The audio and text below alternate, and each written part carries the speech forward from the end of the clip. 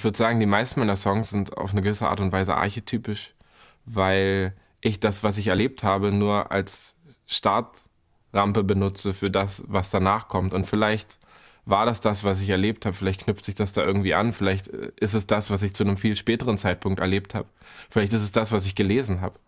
Es hat immer eine reale Komponente aus meinem Leben. Anders könnte ich gar nicht schreiben, aber es ist nie genau so passiert und das ist auch nie mein Anspruch, weil Who Am I, dass diese Songs persönlich werden sollen.